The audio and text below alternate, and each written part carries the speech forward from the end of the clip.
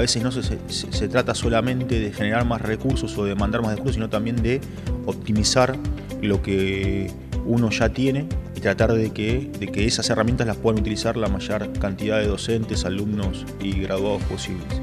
Otro debate eh, que también surgió en las jornadas y que también venimos discutiendo tiene que ver con la, con la curricularización eh, y la jerarquización de la extensión.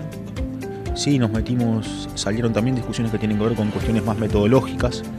eh, más teóricas, de alcances, límites en el abordaje territorial, en el desarrollo de proyectos. Estamos repensando cómo construir los procesos de evaluación, con qué criterios, cómo construir un banco de evaluadores y una cosa es resolverlo en, el vértigo de la gestión cotidiana y otra cosa es tomarse el tiempo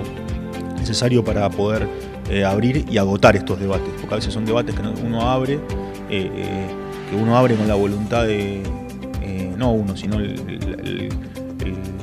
colectivo de la Universidad Nacional de La Plata en general, abren ciertos debates que a veces se abren ciertos debates que a veces no se cierran o no se agotan.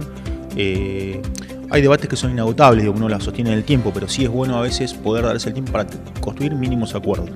Bueno, en la facultad tiene una tradición en la extensión bastante extensa. En los últimos años, con la aparición del planetario, también se ha enriquecido muchísimo, ya que es un centro cultural básicamente en la ciudad hoy en día, el planetario, eh, y en el cual apuntamos que no solamente sea para enseñanza en la astronomía, sino que sea un espacio para que se pueda explotar la cultura de la ciudad en todos sus sentidos.